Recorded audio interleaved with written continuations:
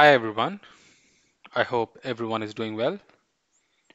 In this video, I would like to talk about a real-time scenario in the Citrix environment, which goes like this.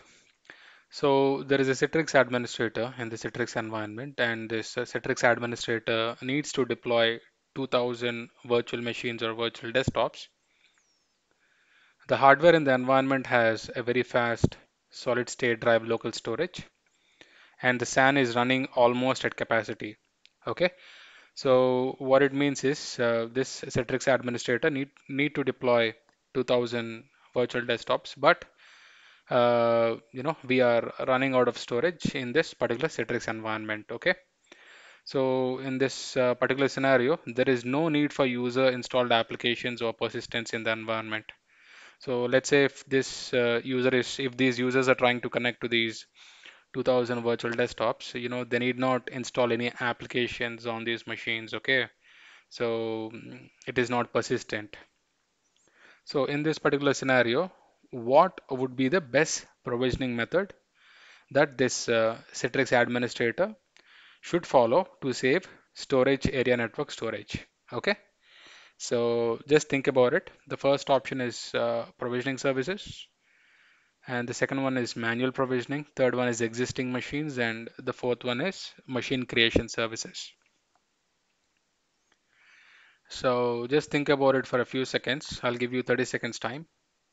So in 30 seconds time, I'll go, I'm going to reveal the answer.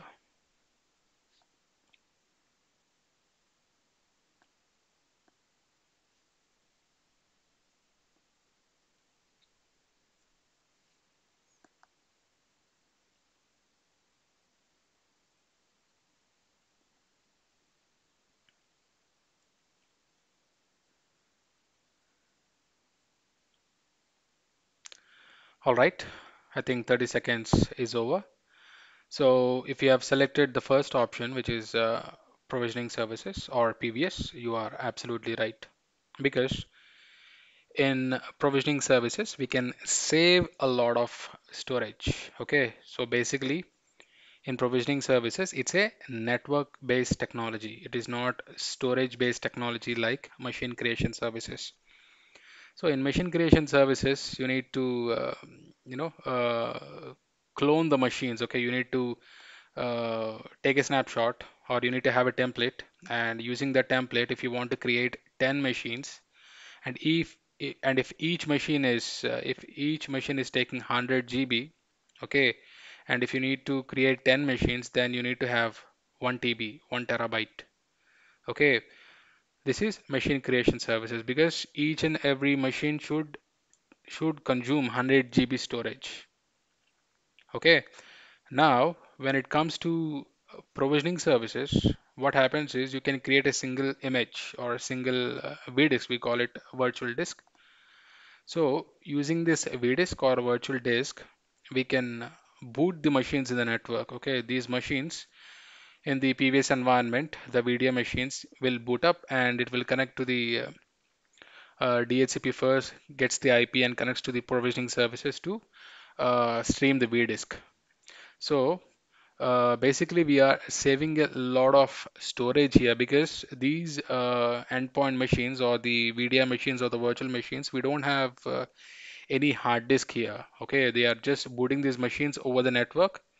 This could be thin client or any uh, virtual machines. They can boot over the network and they can stream the virtual disk from the network. Okay and they can use it. So here we, we do not need much storage.